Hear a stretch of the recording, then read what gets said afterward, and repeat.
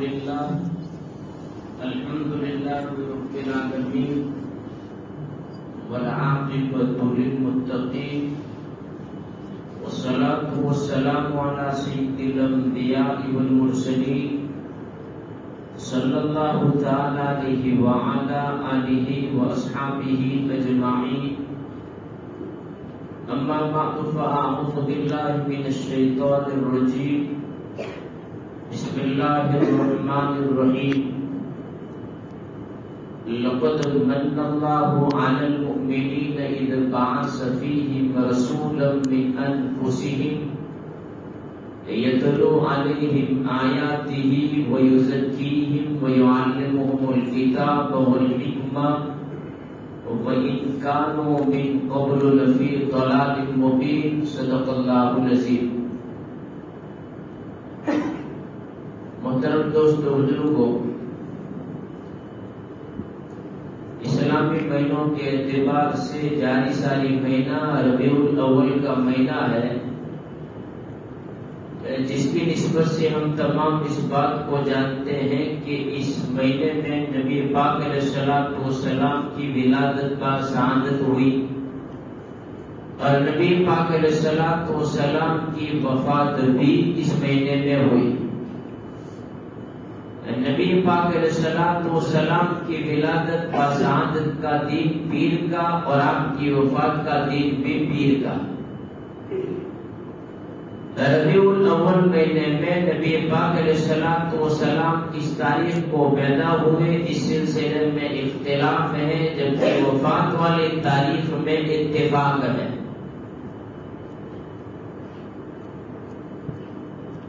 आपकी पैदाइश की तारीख के सिलसिले में बाजों ने कहा, आठ रबीउल अव्वल, बाजों ने कहा, नौ रबी रबीउल अव्वल, बाजों ने कहा, बारह रबीउल अव्वल। ज़्यादातर रुझान बारह रबीउल अव्वल में, बारह रबीउल अव्वल का है। और आपकी वफात बारह रबीउल अव्वल को हुई, इसमें इत्तेफाक है, किसी का इख्तिलाफ नहीं है। तो इस महीने की मुनासबत से सोचा कि नबी पाक सलाम की विलादत बा शहादत के सिलसिले में चंद बातें आरज करूँ। बड़ी शहादत मंदी की बात होती है, बड़ी खुशनसीबी की बात होती है मुसलमान के लिए। कि अपने आका मोहम्मद वसल्लम का ज़िक्र खैर और ज़िक्र मुबारक उसकी जबान का विरद बने। और आप सलाम तो सलाम की सीरत, आपकी सूरत, आपके अखलाक, आपके अतवार आपके अखबार आपके वाकियात और आपकी आपका किरदार, आपकी रफ्तार, आपकी गुफ्तार और आपकी शक्ल सूरत एक मुसलमान के दिल में है। इसका एक नक्शा तो बड़ी शहादत बंदी की बात और इस बात को भी हम जहन में रखे, नबी पाक सलाम को सलाम को काबिल तौर पर जानना हमारे लिए बेहद ज़रूरी है। एक मुसलमान का अपने आप को इतना जानना ज़रूरी नहीं है जितना अपने आका को जानना ज़रूरी है। क्योंकि मुसलमान अपने मुसलमान होने में, मोमिन अपने ईमान वाले हो, ईमान वाला होने में अपने आका मोहम्मद वसल्लम की मारिफत का मोहताज होता है। इसीलिए उलमा ने लिखा कि जिसने अपने आका को नहीं जाना, उसने अपने इस्लाम को और अपने ईमान को नहीं जाना।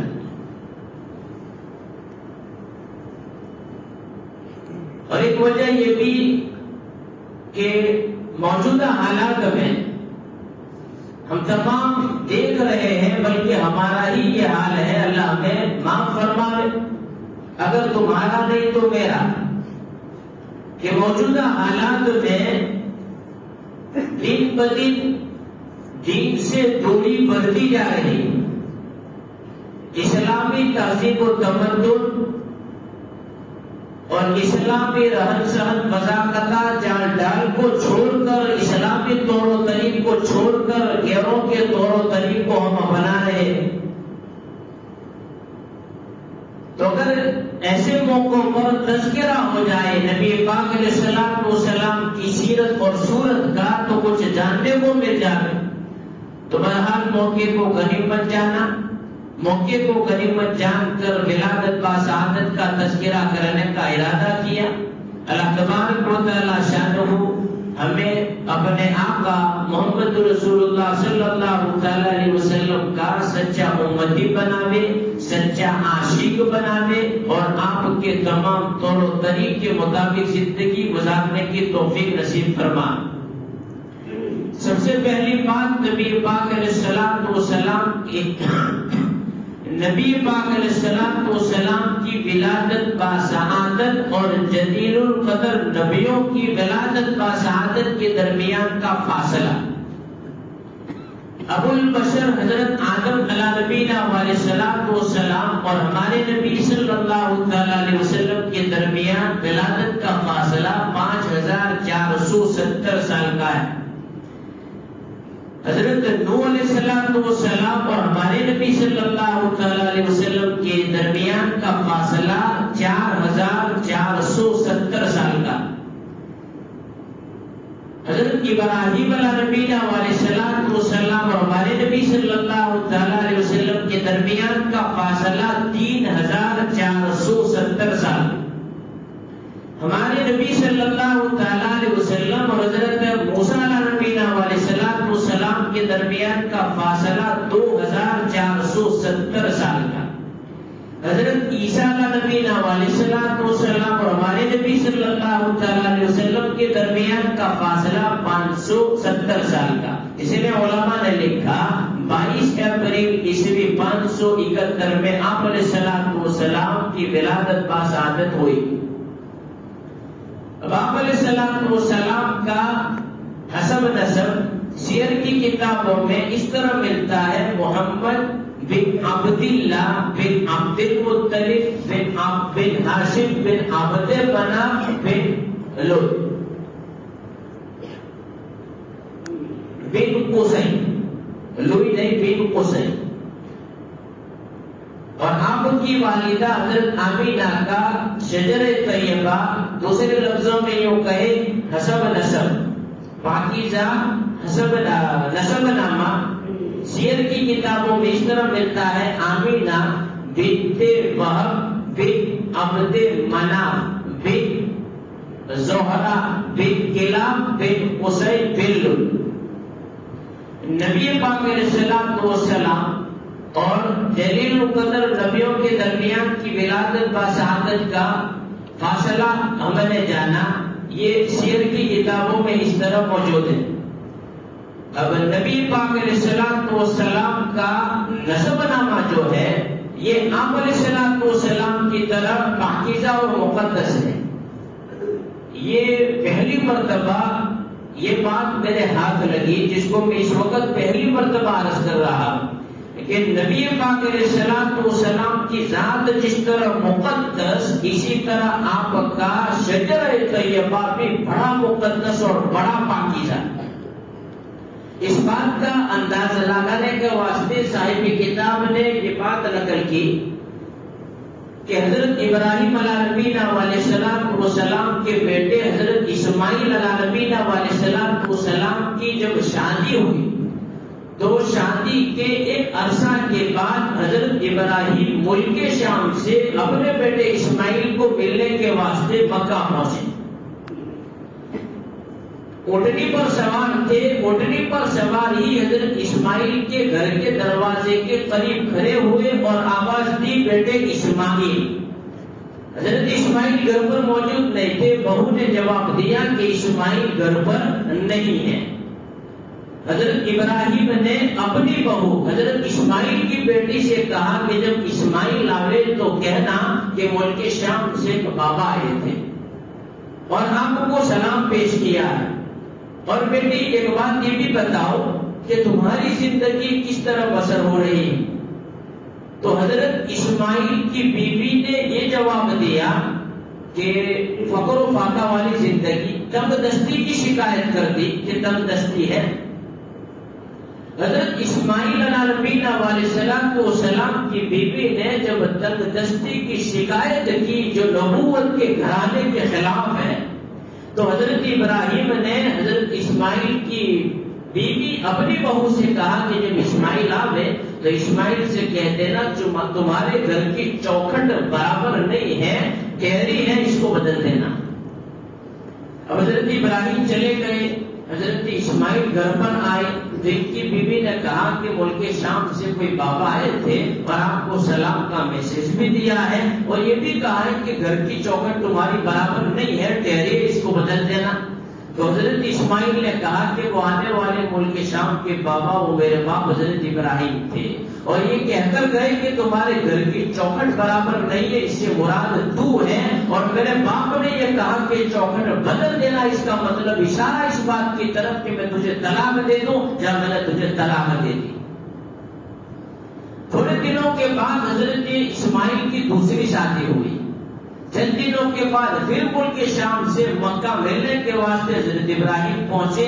दूसरी मरतबा भी हज़रत इब्राहिम इस्माइल घर पर नहीं थे। घर के दरवाजे के करीब कोटली पर सवार करे सवारी की हालत में ही पूछा आवाज़ दी कि बेटे इस्माइल, अब दूसरी मरतबा भी चुके नहीं थे तो अंदर से बहू ने जवाब दिया कि इस्माइल नहीं है और घर के दरवाजे पर भी आए। देखा है तो नूरानी खूबसूरत शक्ल वाला, उमर रशीदा घनी गारी वाला, एक बुज़ुर्ग कहा कि जब इस्माइल आवे तो मेरा सलाम पेश कर देना। कहा, ठीक है। अंदर भी आओ। कहा कि नहीं, अंदर में नहीं आऊँगा। इसरार किया पर हज़रत इब्राहिम अंदर नहीं गए। फिर जाते जाते पूछा कि एक बात ये भी बताओ कि तुम्हारा गुजरान और तुम्हारी ज़िंदगी किस तरह बसर हो रही है? इस दूसरी बीवी ने जवाब दिया, अल्लाह का शुक्र है, अल्लाह का एहसान है, अच्छी ज़िंदगी हमारी गुजर रही है। इस मरतबा भी फकरो फाका वाली ज़िंदगी, उस मरतबा भी फकरो फाका वाली ज़िंदगी थी। पहली बीवी ने जो ये जवाब दिया कि हालात बराबर नहीं है तंदस्ती की हालत है, उसने झूठ नहीं बोला था। हकीकत में वो फकर फाका वाली ज़िंदगी गुजार रहे तो दूसरी बीबी से हज़रत इब्राहिम ने कहा जब इस्माइल आवे तो कहना तुम्हारे घर की चौखट अच्छी है इसकी हिफाजत कर लेना ये दुरुस्त है। फिर चले गए। हज़रत इस्माइल घर पर आए। इनकी बीबी ने बताया कि कोई बाबा आए थे मुल्क शाम से पुरानी चेहरे वाले और ये कहकर गए तुम्हें सलाम भी आ, सलाम का मैसेज भी देने को बोला और कहा तुम्हारे घर की चौखट अच्छी उसकी हिफाजत कर लेना। इस्माइल ने कहा वो मुल्क शाम से आने वाले बाबा वो मेरे बाप हज़रत इब्राहिम थे और ये कहकर गए, घर की चौखट अच्छी है, मुराद इससे दूर है और इसकी हिफाजत करने का मतलब ये है कि हम मरने तलब तेरा तेरा साथ रहेगा. अब पहली बीवी ने मैंने बताया कि फकरो, फाका और तंदस्ती की शिकायत की वो बेचारी बिल्कुल सही बता रही थी, वो झूठ नहीं बता रही थी। पर अल्लाह तबारक मुताला शानू नबूवत के घराने में इस शिकायत को बर्दाश्त नहीं करते। अल्लाह तबारक मुताला शानू ने बर्दाश्त नहीं किया कि नबूवत के घराने में इस तरह जिसको इनके नस्ल से, चूँकि इनके घराने से नबी आखिर जमान तशरीफ़ लाने वाले हैं, वहाँ पर ये शिकायत नहीं चलती। इसे हम अंदाज़ा लगाए कि नबी पाक सलाम का शजर तैयबा कितना पाकिजा, कितना मुकद्दस। बहरहाल, आपकी जात मुकद्दस और आपका नसबनामा भी मुकदस अब हम बात करें आप सलाम सलाम के होलिये की। तो आप सलाम का चेहरा बड़ा कुशाता था और आपके मुबारक नाक बड़ी लंबी और ऊँची थी। आप सलाम न छोटे कद के थे और न बड़े कद के, न ठीक थे, न लंबे कद के कि बदिया मालूम हो। पर लिखा है कि आप सलाम जब लोगों के मजमा में खड़े होते तो सबसे ऊँचे नज़र आते थे कि आप सलाम सलाम का मौजिजा था। आप सलाम को सलाम घने सर वाले घनी दाढ़ी वाले और लंबी गर्दन वाले दोनों शानों के दरमियान में कुशाद की पुष्ट मुबारक पर मारे नबूवत चश्मा थी। और सलाम के होठ बिल्कुल बारीक मुलायम थे और भव के बाल बिल्कुल बारीक, लंबे लंबे, खूबसूरत नज़र आते और आपके मुबारक दांत बड़े चमकदार नज़र आते, मोटे थे और आपके चेहरे के रुखसाओं में, यानी गालों में गोश्त था बड़े मुलायम और नरम, नाजुक थे। बात करें आपकी खूबसूरती थी तो जिसकी कोई मिसाल नहीं। जिसकी कोई नजीर नहीं। आप सलाम बड़े खूबसूरत थे। हज़रत अनस रज़ी अल्लाह आपकी खूबसूरती के सिलसिले में अर्ज़ करते हैं कि एक मरतबा में घर से निकला। चौदहवीं चाँद का सूरज नमूदार चौदहवीं सूरज चौदहवें चाँद के का, चौदहवीं का चौदहवीं का चाँद रोनुमा था। तुलू था। मैंने उसकी खूबसूरती को देखा तो बड़ा हैरान और परेशान हो गया। अचानक रसूल खुदा सामने तशरीफ़ लाए। मैंने आपकी खूबसूरती को देखा तो फिर मेरे दिल में ये बात आई कि खूबसूरती इस चेहरे की ज़्यादा है या सूरज के या चाँद के चेहरे की ज़्यादा? हज़रत अनस फरमाते हैं, फिर तो मैं कभी चाँद को देखता, कभी सूरज को देखता, कभी चाँद को, कभी सूरज को कभी हुजूर को देखता। फिर आखिर मेरे दिल ने फैसला किया कि हुजूर की खूबसूरती चाँद की खूबसूरती खूबसूरती से ज़्यादा है। मजबूरन मुझे ये फैसला करना पड़ा। मायशा रली अल्लाह नाम की खूबसूरती के सिलसिले में बताती है कि कभी मुझे सुई के नाके में धागा पिरोने की नौबत आती, अंधेरी रात में मैं हुजूर के चेहरे की रोशनी से धागा पिरो लिया करती थी। जबकि आपके हुसन जमाल को तारीख की किताबें, शेर की किताबें बताती हैं। काबिल तौर पर ज़ाहिर नहीं किया गया। वजह इसकी बयान की कि अगर काबिल तौर पर आपकी खूबसूरती को ज़ाहिर कर दिया जाता तो इंसानों में आपको देखने की हिम्मत और ताकत ही नहीं रहती। हज़रत अब्दुल्ला इब्न सलाम रज़ी अल्लाह जो यहूदियों के बड़े आलिम थे, जो तौरात के हाफिज थे, वो फरमाते, मैंने पहले पहल, जब हुजूर के चेहरे को देखा तो मेरे दिल में ये बात आई, फलम मस्तबद्दु अला वजी रसूलिल्लाह सल्लल्लाहु वसल्लम, अरफ्तु अन्न वजहहु लैसा बिवजहि कज़ाबी कि हुजूर के चेहरे को देखते ही मेरे दिल ने फैसला किया कि ये किसी झूठे का चेहरा नहीं हो सकता। हज़रत अबू नाफिर रज़ी अल्लाह तआला फरमाते हैं, फलम्मा रायतु वजह रसूलिल्लाह सल्लल्लाहु तआला अलैहि वसल्लम उल्किया फ़ी कल्बी अल इस्लाम जब मैंने हुजूर के चेहरे को देखा तो मेरे दिल में इस्लाम घर कर गया।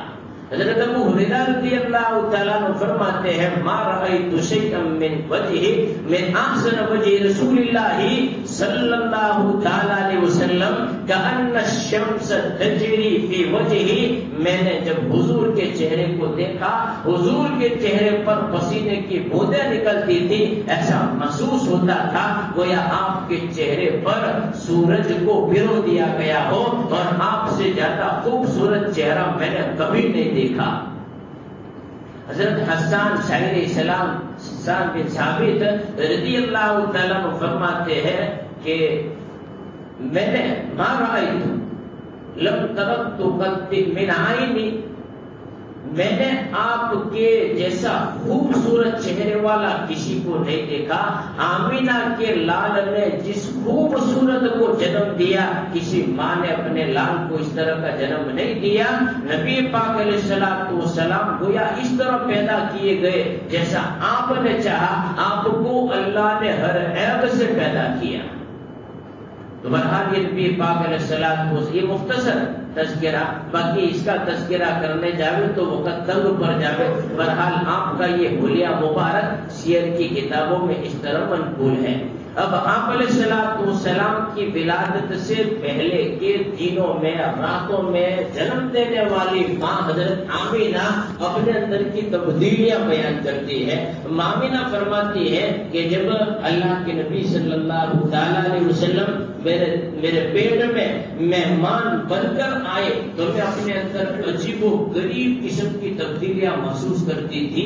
फरमाती है कि कभी तो मैं जब रोड पर चलती थी सख्त पत्थर, सख्त रोड़ा मेरे पैर के नीचे आता तो वो रोई की तरह नरम हो जाता था। इस वक्त सरकिया बनी है। कालीन बिछी है। उस वक्त पत्थरों की चटाने पड़ी रहती थी। फरमाती है, सख्त चटान होती। वो मेरे पैर के नीचे रुई बन जाती। मामिना रज़ी अल्लाह तला फरमाती है ज़िंदगी के अयाम में आमतौर पर औरतें अमल की वजह से जिस बोझ और तकलीफ़ को महसूस करती है, वो मन इन तकलीफों का तो मुझे एहसास तलक नहीं हुआ। फरमाती है कि इन अयाम में जब हुजूर मेरे हुजूर मेरे पेट में थे, अपनी सहेलियों के साथ मैं देहात के रिवाज के मुताबिक कुएँ पर पानी लाने को जाती थी। अब जब वो पानी बढ़ने को जाती बारी बारी अपना डोल कुएँ में डालती और पानी निकालती, जब मेरी बारी आती, मैं अपना डोल कुएँ में लटकाती तो कुएँ में डोल लटकाने के साथ ही कुएँ का पानी मुडेर तलक आ जाता था, बड़ी आसानी से मैं पानी भर लिया करती थी। ये हुजूर के बरकत है, विलादत से पहले के। मामिना रदी अल्लाह तला फरमाती है कि हुजूर जिन दिनों मेरे पेट में थे तो मैं वो गरीब खाब देखा करती थी। एक मरतबा मुझसे रहा नहीं गया, अपनी सहेलियों को बतला दिया कि देखो, जब से ये बच्चा मेरे पेट में आया है, तब उसे मैं अजीब को गरीब किस्म के खाब देखती हूँ। तो सहेलियों ने कहा कि बहन, इन दिनों में साय का असर होता है। इन दिनों में हम जो है ना, वो लोहे का काड़ा बनवाती है और पहन लेती है, यही इलाज होता है, तुम भी यही इलाज कर लो, तुम्हारा भी यही इलाज है। मामिला फरमाती के कहने में मैं आ गई, मैंने एक लोहे का काड़ा बनवाया, उसको पहना। पहले ही पहला ही दिन था। पहली ही रात जिस रात मैंने पहना था खाब में मैंने देखा, मेरे सामने एक नूरानी शक्ल वाला घनी वाला, सब्ज अमामा वाला बुज़ुर्ग खड़ा है। मेरी तरफ़ उंगली से इशारा किया तो मेरा वो करा टूटकर ज़मीन पर गिर गया। मामिना कहने लगी, अरे बुज़ुर्ग, बाबा, तुम कौन हो? ये तुमने क्या जुलम किया? मेरा ये करा टूट गया, ये मेरा इलाज है। तब जवाब में कहा, मैं इब्राहिम खलीलुल्लाह। मैं तुम्हें बशारत देने आया मैं तुम्हें खुशखबरी देने आया कि तुम्हारे पेट में जो बच्चा है, वो बच्चा कोई मामूली बच्चा नहीं है। ये तमाम नबियों का सरदार है। हमारी गैरत ने गवारा नहीं किया कि हमारी बहू तबहू परस्ती का शिकार हो जावे। जब ये तेरे बदन से जन्म लेकर दुनिया के बदन में, दुनिया के पेट में आएगा तो दुनिया में मशरक से लेकर मगरब तक इसका बोलबाला होगा। तरह से। अजीब गरीब खाब देखा करती थी। माँ मीना रदी अल्लाह खुशबू इस्तेमाल नहीं करती थी। जबकि बेवा भी थी। बेवा के वास्ते जो है, अपने आप को खूबसूरत बनाना, ये भी जेबा नहीं। पर हाल ज़िंदगी के अयाम में जबकि वो बेवा भी थी तो अजीब, गरीब अजीब किस्म की खुशबू इनसे आया करती थी, जिसकी चर्चा मक्का की औरतों में होने लगी। कि अमीना तो खूबसूरत ये मुअत्तर खुशबू इस्तेमाल करती है। मालूम मेरे कोई कहने वाला है या नहीं? ये बात पहुँची दादा अब्दुल मुत्तलिब तलक अब्दुल मुत्तलिब ने अपनी बहू को अपने पास बुलाया और कहा कि देखो, आमीना तुम्हारी भी बहू है। तुम आमीना के पास जाओ। ये खुशबू इस्तेमाल करती है। ज़िंदगी के दिनों में लोगों, औरतों में चर्चा हो रही है तो मैंने समझाओ कि इनके वास्ते ये चीज़ मुनासिब नहीं है। तो नबी पाक सलाम की दादी अब्दुल मुत्तलिब की बीवी कहने लगी, मैंने कई मरतबा सोचा कि मैं आमीना को ये बात समझाऊं, पर इन दिनों में आमीना की शख्सियत में ऐसा जलाल है कि उससे बात करने की मेरे अंदर हिम्मत ही नहीं, मैं बात ही नहीं कर पाती हूँ। तब मजबूरन दादा अब्दुल मुत्तलिब ने बड़े प्यार से अपनी बहू आमीना को बुलाया और उसे समझाया कि देखो देवगी के दिनों में ज़िंदगी के दिनों में तुम ये खुशबू इस्तेमाल करते हो, जिसकी चर्चा हो रही, ये अच्छी चीज़ नहीं है तुम्हारे लिए। हज़रत आमिना रदी अल्लाह की आँखों में आँसू आ गए। रोते रोते कहा कि न मैं खुशबू इस्तेमाल करती हूँ, न मुझे कोई खुशबू लाकर देता है। मैं तुम्हें क्या बताऊँ? जब से ये बच्चा मेरे पेट में आया है मैं ऐसी ऐसी चीज़ें देखती हूँ कि अगर तुम्हारे सामने उसको बयान करूँ तो तुम मुझे पागल और दीवानी कहोगे। ये कहकर मामिना रदी अल्लाह ने बताया, या जब से ये बच्चा मेरे पेट में आया, तब तब से मैं जब रोड पर चलती हूँ, कोई रोड़ा सख्त मेरे पैर नीचे आता है तो वो नरम रुई की तरह हो जाता है। जब मैं धूप में चलती हूँ तो बादल मुझ पर साया करते हैं। जब दीवारों के करीब से गुजरती हूँ तो ये दीवारें मुझसे बातें करते हैं। जब पहाड़ों के करीब से गुजरती हूँ तो पहाड़ झुककर मुझे सलाम करते हैं। जब चाँद पर नज़र डालती हूँ तो चाँद आदाब आता है जब मैं सितारों पर नज़र डालती हूँ तो सितारे झुककर मुझे सलाम करते हैं। अरे, इंतहा यहाँ तलब हो गई कि विलादत के दिन करीब आते जाते हैं, जहाँ थूकते हो, वहाँ से खुशबू उठती है। खुशबू को इस्तेमाल नहीं करती। पर हुजूर सल्लल्लाहु अलैहि वसल्लम की विलादत से पहले की बरकत थी। इस्लाम की बहुत सारी बातें और भी बाकी है इंशाल्लाह तफसील के साथ इस उन्वान को हम बयान करते रहेंगे। अल्लाह ताला इन का मौका नसीब फरमावे। अल्हम्दुलिल्लाह, पिछली जुमा में मदरी पार्क में, माँ बहनों में, माँ बहनों के लिए, तालीम के लिए मकान तय किया गया।